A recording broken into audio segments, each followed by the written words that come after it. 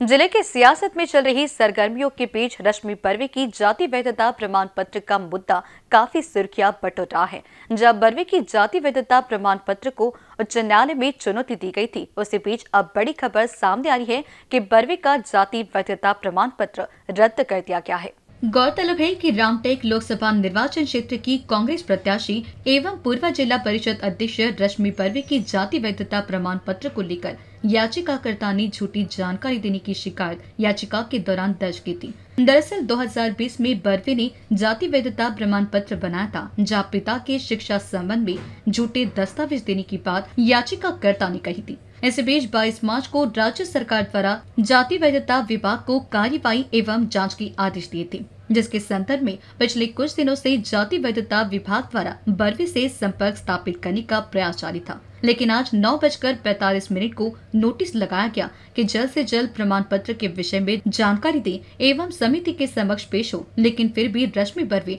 जाति वैधता समिति के समक्ष हाजिर नहीं हुई, जिसके चलते जाति वैधता समिति ने रश्मि बर्वे की जाति वैधता प्रमाण पत्र को अवैध करार दिया है, जिसके चलते अब नागपुर की सियासत में सरगर्मियाँ तेज होने की संभावना है। कैमरा पर्सन राजकुमार मोहर के साथ मनीष टेमरी की रिपोर्ट।